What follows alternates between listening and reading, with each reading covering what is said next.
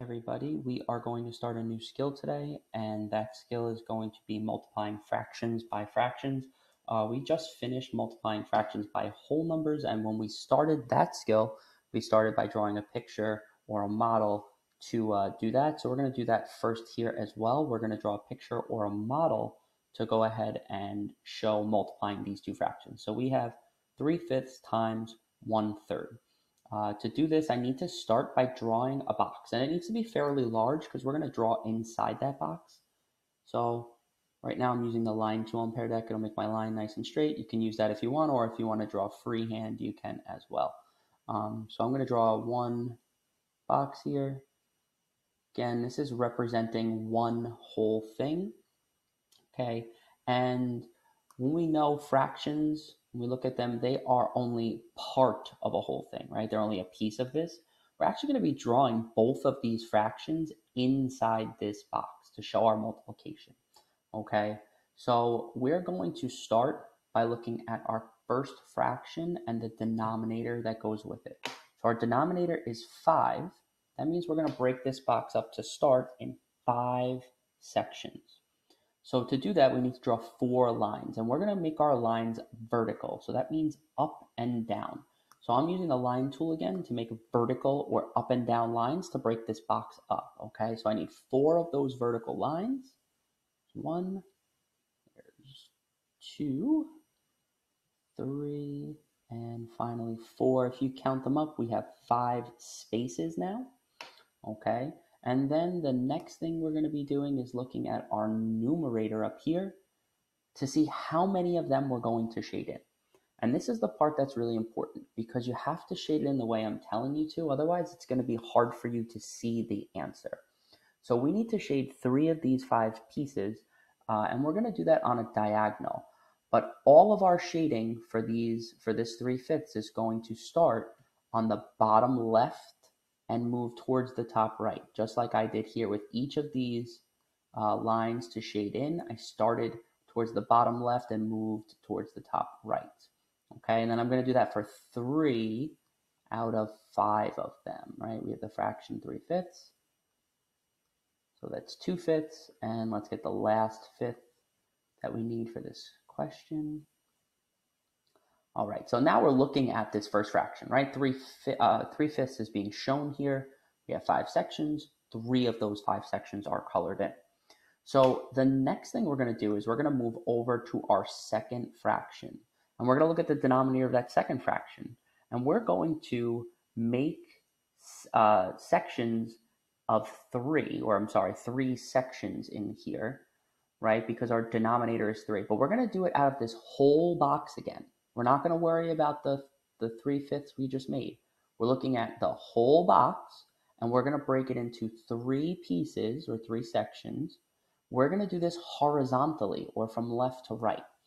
So I'm going to use my line tool again and I'm going to make horizontal or left and right lines. I need two horizontal lines to make three spaces. One, Two, again, I'm not worried about the lines I already drew.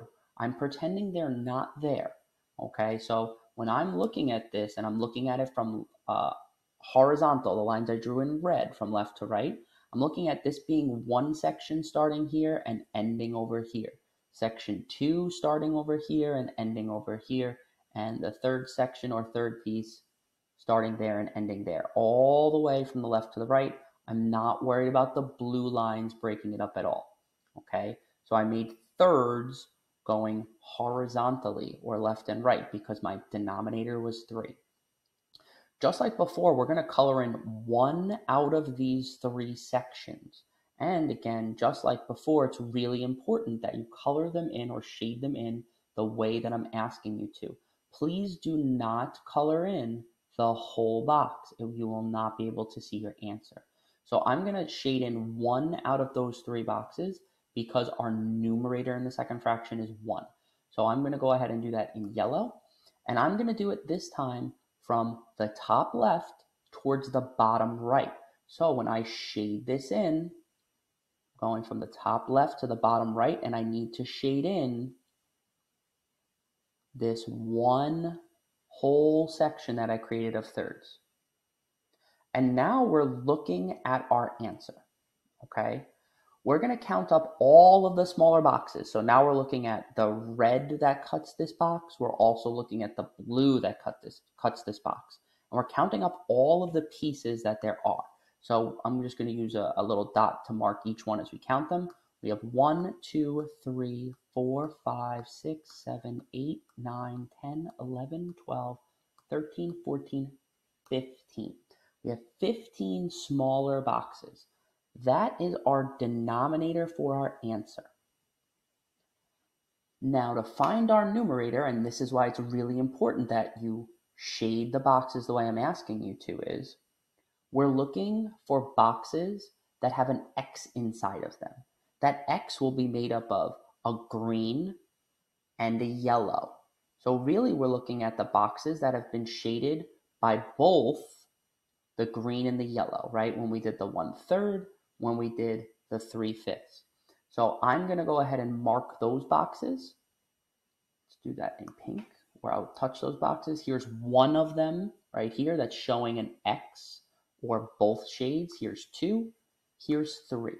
That's it. There's only three boxes that are showing being shaded in both directions. That's our numerator.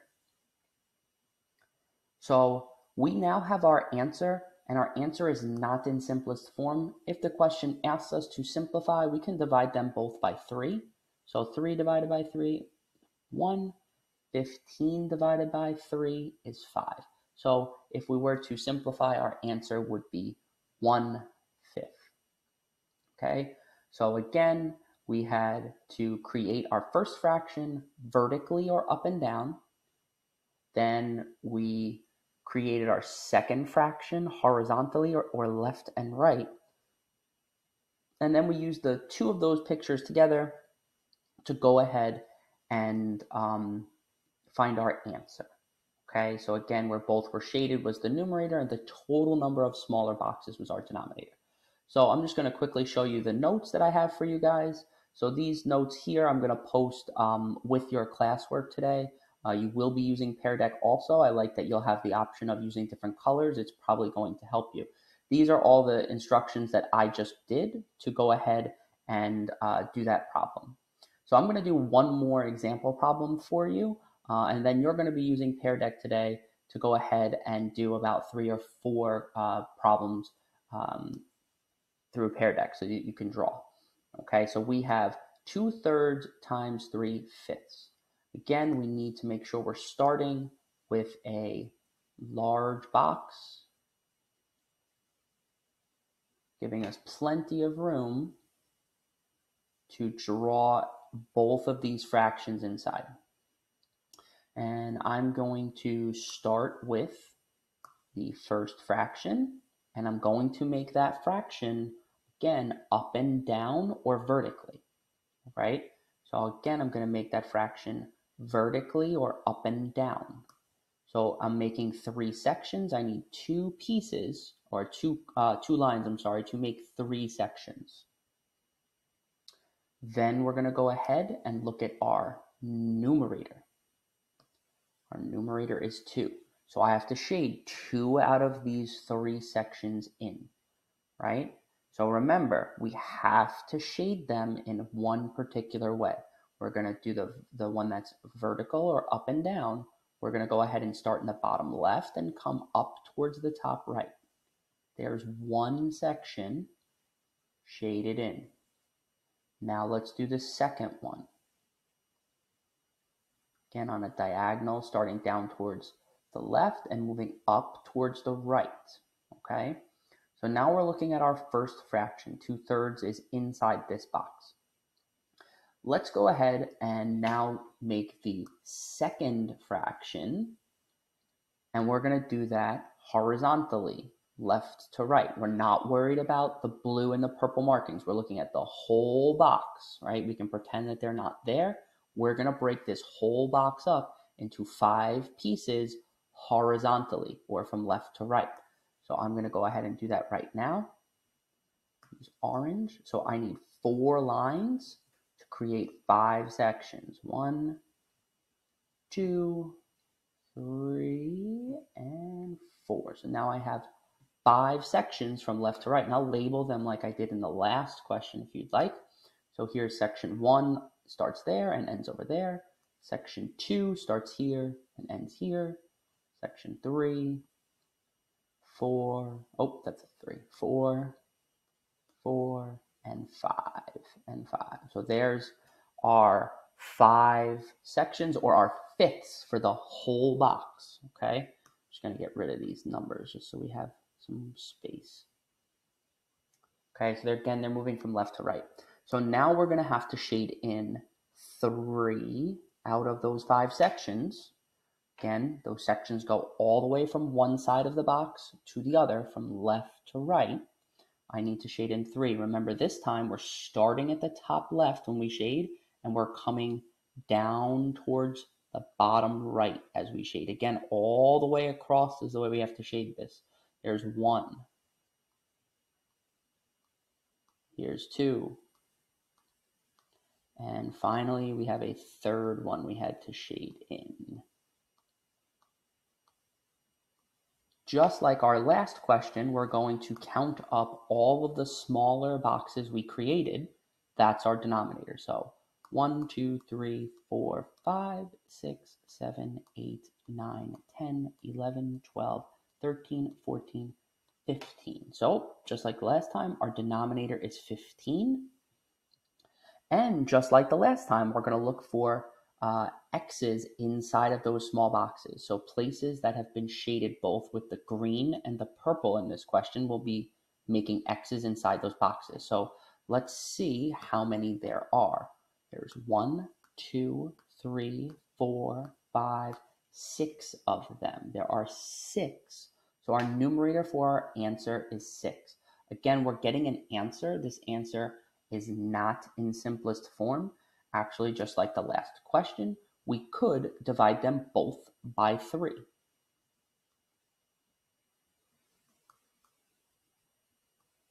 Two and 15 divided by 3 is 5. So we're getting 2 fifths as our simplified answer. So remember, it is really, really important when you go to shade in that you are not coloring in the whole box. Okay, you must shade them in in the way that I've asked you to so that you can see these X's and this answer at the very end of it. All right, guys, if you have any questions, you can go ahead and leave comment, uh, leave a comment on the classroom. Um, so you're going to be using Pear Deck today to do this.